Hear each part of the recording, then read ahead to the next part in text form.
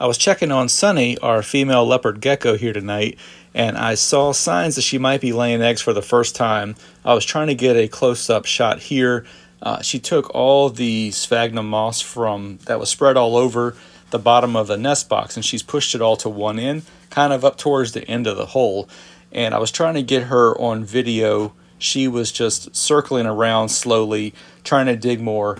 Um, so I, I believe this is signs that she might be laying in the next couple of days. Uh, so check back and I'll have updates on that. And I was getting ready to feed her also. She has been off of food for the last two weeks. She's just been refusing food. And when I flip her over, you can, looks like, see two eggs shining through her abdomen. And I turned off the recording here because she started coming out of the hole.